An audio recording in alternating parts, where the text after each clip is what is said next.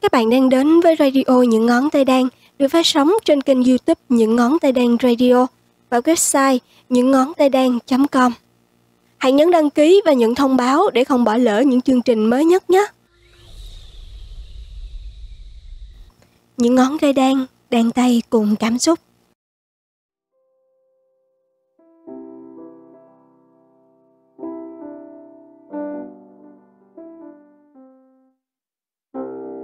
Xin chào thính giả thân thương, đang lắng nghe radio được phát trên kênh Những Ngón Tay Đan. Mình là Liên Tịnh. Không biết ngày hôm nay của các bạn được bao trọn bởi niềm vui hay chất chứa những nỗi buồn. Thôi thì cứ tạm gác qua để chìm vào khung trời nhiệt huyết không kém mình yên bên ô cửa sổ cùng tịnh nhé. Mà có bao giờ chỉ với thân thể bé nhỏ của mình, các bạn vẫn muốn giang tay để được ôm trọn cả bầu trời không? Và sự thật thì đương nhiên là chúng ta quá nhỏ bé so với cả khung trời vô tận. Cô gái cỏ vẫn muốn thử sức. Hòa mình vào bầu trời xanh bao la, với tản văn, bầu trời bên ngoài cửa sổ. Xin mời các bạn cùng lắng nghe. Sự những buồn bề khó khăn, sự những bế tắc không lối thoát, trái tim và lý trí bị nhấn chìm trong những lắng lo, khổ đau và tuyệt vọng thì bầu trời ngoài kia vẫn trong xanh vời vợi. Bầu trời thì rộng lớn và con người thì bé nhỏ. Sức người làm sao đủ để vượt lên và hòa mình vào bầu trời ấy. Trên cao ấy là ước mơ, mà ước mơ thì xa vời lắm. Thả mình, buông tay cho bản thân rơi tự do vào trong tuyệt vọng. Hai bờ mi thanh thản khép lại, tham tâm cất lên lời từ biệt cuối cùng. Nhưng rồi trong lúc ngỡ như có thể vứt bỏ một cách nhẹ nhàng nhất thì một sợi chỉ mong manh vướng lại. Sợi chỉ ấy có thể là một mối bằng tâm nào đó mà trong lúc bản thân theo đuổi điều muốn làm nên lãng quên. Để rồi bắt ép bản thân phải vực dậy phải tiếp tục chịu sự đầy đỏ của cuộc đời. Có lẽ người ta gọi đó là sống cuộc đời của mỗi chúng ta ai rồi cũng có thứ cần để sống vì thế, dù trong hoàn cảnh nào cũng hãy tiếp tục mà sống. Tiếp tục tiến lên. Nếu không có khả năng tiến lên, thì hãy sống một cách chịu đựng. Hãy chịu đựng trong sự cố gắng. Biết đâu trong mớ bùi nhùi ấy sẽ tìm thấy một lối đi. Dẫu không có lối đi nào thì cũng cảm ơn rằng ta đã cố gắng sống vì mối bận tâm đó. Và vì mối bận tâm đó mà ta đã tồn tại. Tồn tại không vì ta, mà vì điều mà ta quan tâm nhất.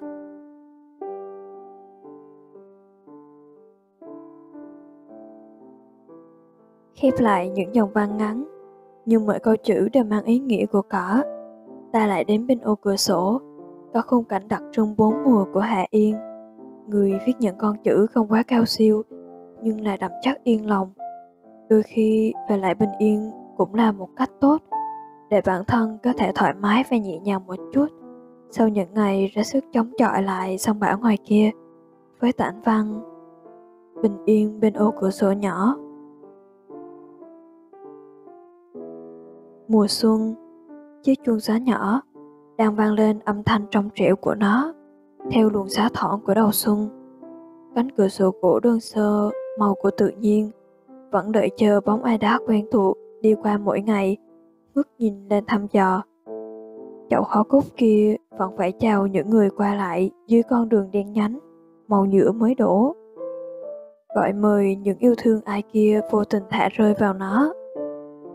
Cành hoa cúc của đầu xuân, buông tỏ sức sống của nó, trong dịp muôn loài khởi sắc, nhưng vẫn giữ nguyên vẻ dịu dàng, êm đềm bình yên vốn có. Chỉ là do mùa xuân nên nó phấn khởi hơn. Trong các cơn gió nổi lên, đã có chút mùi của cỏ cây mùa xuân, thơm nhẹ, thanh mát, nhưng là đủ làm siêu lòng cho những ai còn đang mơ mộng. Mùa xuân đến, bên chiếc cửa sổ gỗ không chút tô điểm màu sắc nhân tạo nào. Nó hình thành từ tự nhiên và nổi bật cũng nhờ những tự nhiên thêm vào bên cạnh. Là vài chậu sen đá bé xinh, là chậu cúc lớn bên cạnh, là chiếc chuông gió vẫn hát ca cho mọi người mỗi sớm mai giá nổi. Mùa xuân như thể tô điểm cho nó, chút tươi vui hơn thôi. Mùa hạ, khung cửa sổ màu gỗ đang là tâm điểm của mọi thứ. Khi nó đang được các tia nắng vàng kia chiếu rọi vào, nổi bật hẳn nhờ sự oi ả của ngày hè đổ lửa. Đám hoa cúc kia dù cho có màu vàng và cam nổi bật mọi mùa, cũng không sánh được màu tự nhiên của thân gỗ phía trên tỏ sáng mùa hè đến là thời điểm của chính cánh cửa sổ, chuyển mình làm nhân vật chính. Chỉ vài tháng ngắn ngủi này, nó sẽ là điểm bàn tán của mọi người qua lại. Nhưng vẻ đẹp kiêu sa của nó cũng dần nhạt nhòa đi khi buổi chiều tà là lúc các đám mây đen bỗng từ phương xa kéo đến, phủ đầy một khoảng không lớn. Ánh mặt trời tắt liệm đi, nhân vật chính đang tỏ sáng bỗng lặng thinh khi ánh đèn không còn chiếu vào nữa. Cuộc trình diễn xin phép tạm dừng. Chỉ còn lại sự lạnh lẽo của những đợt xa lớn và hạt mưa vô tâm tạo vào cánh cửa ấy một cách tàn bạo nhất. Có lẽ năm nay mưa lớn hơn rồi. Mùa thu, cánh cửa đóng khép hờ lại như nếp mình khỏi cái xe lạnh ngày đầu thu. Cành hoa cúc mỏng manh cũng đang trầm lặng thu các cánh hoa lại, ôm ấp nhau đón nhận mùa thu tới. Mọi thứ bỗng nhiên yên lặng đến lạ. Sự náo nhiệt đang dần dịu lại ngồi xa xa. Ánh hoàng hôn cũng sắp buông xuống. Ngang mặt cánh cửa sổ bất động và không khí cũng trầm mặc. Những cơn gió giờ đây cũng không còn dáng vẻ dịu dàng và ấm áp như mùa xuân. Thổi qua đây chỉ còn là sự lạnh lẽo cô đơn. Người đi lại cũng không ngước lên nhìn quang cảnh hiu tàn kia nữa. Có lẽ họ sợ lòng mình trùng xuống. Cũng có thể, họ cũng muốn nhanh chóng về nhà bên gia đình. Bên sự ấm áp của tự nhiên, khung cửa sổ đã có lúc bình yên không tiếng động như vậy. Mùa đông, tuyết rơi che đại đi còn không bình yên. Màu trắng tinh khôi đã phần nào làm khung cửa trông nặng nề hơn mọi lần có hơi run run. Nhẹ rùng mình khi vô tình nhìn nước qua cánh cửa vàng ống ngày nào sẽ chỉ còn sắc trắng lạnh nhạt. Như ánh mắt ai đó mọi lần, luôn bừng sáng ngắm nhìn mọi thứ, giờ bỗng nhiên mất đi sức sống. Mùa này chẳng còn ai ngước nhìn lên ngắm bầu trời hay mọi thứ trên cao nữa. Họ ngắm nhìn, màu trắng ấy cũng chán rồi họ đợi chờ sự hồi sinh của khung cửa màu gỗ vàng tự nhiên. Nhìn thấy các cành hoa cúc vươn lên đón nắng mai. Nhìn thấy sự khao khát sống của vạn vật hơn là sự tàn phá của thiên nhiên, cùng với thời gian trôi đi từng giây như vậy. Lòng người, con người với cảnh vật đều vậy. Ai cũng mong cầu sự dịu êm và bình yên trong quãng đời sinh sống và tồn tại. Họ đắm chìm mình vào xuân xanh họ tận hưởng mọi thứ khi hè về. Họ tĩnh lặng nhìn lại chính mình khi thu qua và họ ao ước mình được quay lại quãng thời gian bình yên năm đó, khi đông dừng trước mắt. Bốn mùa qua, bốn quãng thời gian của đời người cứ vậy lặng lẽ luân chuyển. Từ người này qua người khác, từ kiếp này qua kiếp khác. Khung cửa sổ mang dáng vẻ bình yên, rồi cũng có lúc trở nên lạnh nhạt với cuộc sống vốn đã làm cho nó có thêm sự sống. Con người ta cũng muốn tự tạo lấy muôn vàng sự bình yên trong lòng. Nhưng qua thời gian, cũng quên đi chính bản thân mình được tự do cảm nhận vàng vật xung quanh. Cũng là một bình yên rồi. Hai cánh cửa giờ cũng đã khép lại hoàn toàn. Con người ta cũng không còn sống mãi với chính bản thân mình. Thử một lần ngồi bên cửa sổ ngôi nhà bạn. Xem hôm nay có gì khác nhé.